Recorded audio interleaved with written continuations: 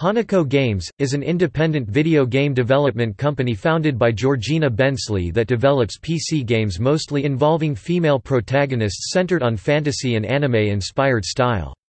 Games on the site include Fatal Hearts, Cute Knight, Summer Session, and Science Girls.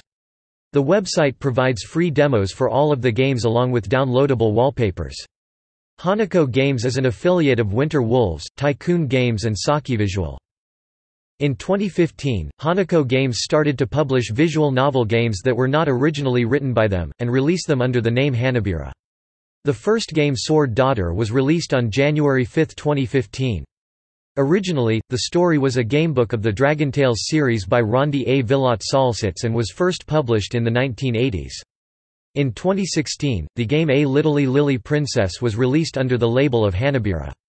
It is visual novel game with raising sim elements and based on the novel A Little Princess by Frances Hodgson Burnett.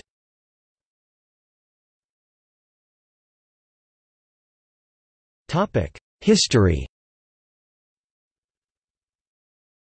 Founder Georgina Bensley released a text-adventure game in 2000 under the name Papillon. In 2005, Bensley released Cute Knight. While not Hanako Games' first release, it was their first to be redistributed by other companies.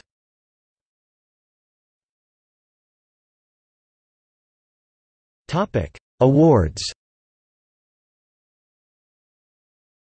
In 2007, Hanako Games was awarded the top prize at Innovate 2007, sponsored by the Casual Games Association. Black Closet was named as a finalist for the Excellence in Narrative category for the 2016 Independent Games Festival.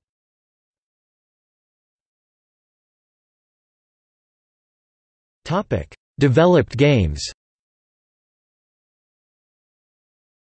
As Hanako Games' Hanabira